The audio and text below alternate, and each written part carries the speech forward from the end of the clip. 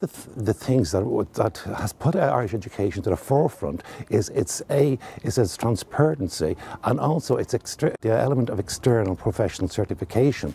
Now, with a stroke of the pen, the current minister, Mr. Ruairi Quinn, has abolished both these criteria.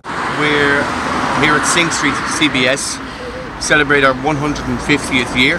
We're out on this lunchtime. We came out in opposition to the government, proposed government changes to the junior cycle, the junior cert exams the introduction of continuous assessment and the absence of a state exam. We're here today to um, show that we're standing together against uh, the proposed introduction of teachers having to correct their own exams, seeing it as a cost cutting measure by the government um, and you know we're standing united and we're not standing for it. The current junior cert happens in third year and the students are usually about 15 or 16 and it takes in all the work that they've done since first year and it's a final examination on each subject taking around two or three hours and prepares them so well for the leaving cert.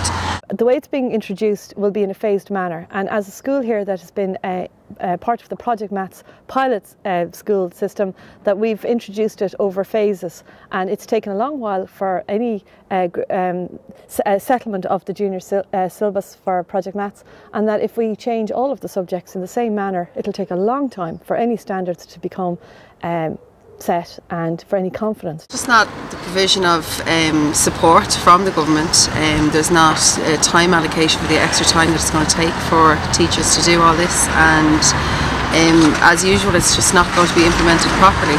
In, in Mr Quinn's proposals we will have a situation whereby teachers are assessing their own students and we will become judge and jury of our students which is totally unfair.